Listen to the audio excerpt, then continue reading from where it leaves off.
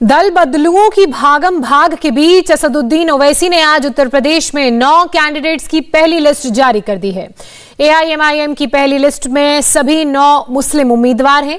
ओवैसी ने गाजियाबाद की लोनी सीट से डॉक्टर मेहताब को टिकट दिया है तो वहीं धौलाना से हाजी आरिफ को मैदान में उतारा है। सरधना से जिशान आलम को टिकट दिया गया है।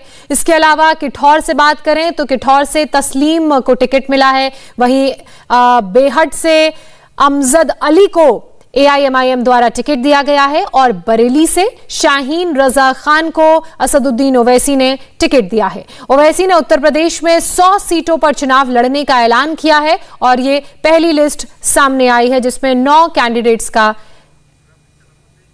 ऐलान किया गया है। तो आपको बताते हैं कि ओवैसी के उम्मीदवार कौन कौन हैं और किन किन सीटों से वो चुनाव लड़ रहे हैं। ये देखिए आपकी स्क्रीन पर पूरी लिस्ट है।